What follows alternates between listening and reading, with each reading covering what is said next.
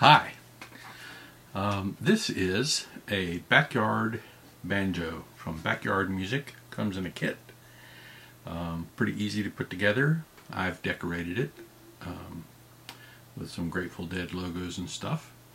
But other than that, it's pretty much as it comes in a kit. Uh, it's got geared tuners. Even the fifth string is a geared tuning.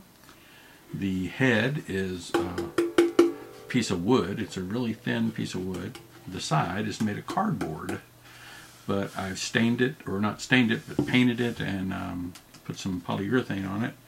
The fretboard is is comes in one piece. You don't have to put the frets on; they're already there. Um, but the uh, fret markers I put on, um, the things for the to hold the strings at the end, I put those in um, put the nut in.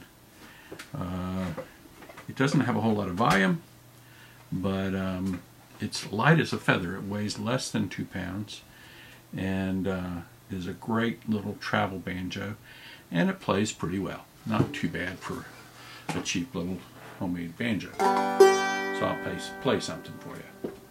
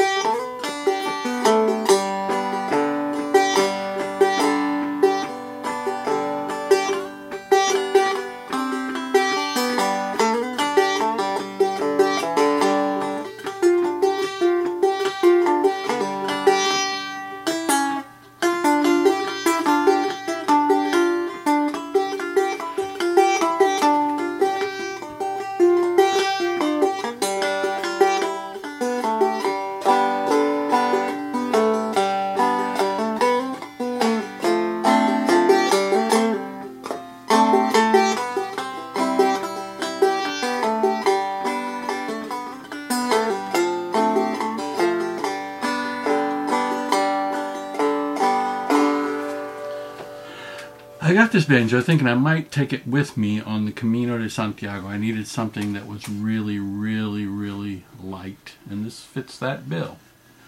Um, it's a little bit hard to play. The, the action is is not what I'm accustomed to. It's a little low, and the scoop is not quite as big as I like. But, you know, for a light banjo that's good for practice or good for just messing around, not bad. Bye.